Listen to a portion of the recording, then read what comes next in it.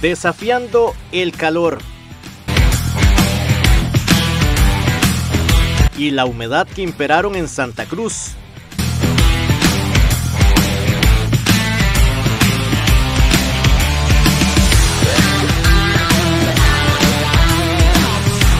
Chelsea Araya conquistó la primera medalla de oro para Pérez Celedón en los Juegos Deportivos Nacionales 2024.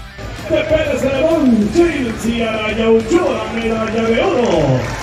La generaleña logró la presea dorada en los 10.000 metros marcha que se tramitaron la mañana de este lunes en el arranque del atletismo de las justas que se disputan en Guanacaste. Creo que la experiencia es desde que empiezan eliminatorias, todo el entrenamiento y aquí ya se llegaría a disputar lo que es la medalla.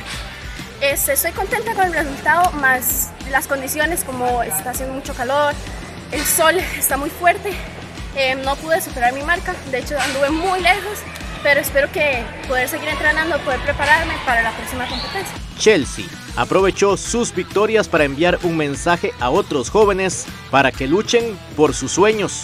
Me siento muy orgullosa y más que todo es incentivar a los niños jóvenes que sí se puede venir, ganar una medalla, estar en una selección. Entonces incentivar sería como mi propósito. El primero de julio de 2024 quedó marcado para Pérez Celedón en los 10.000 metros marcha femenino.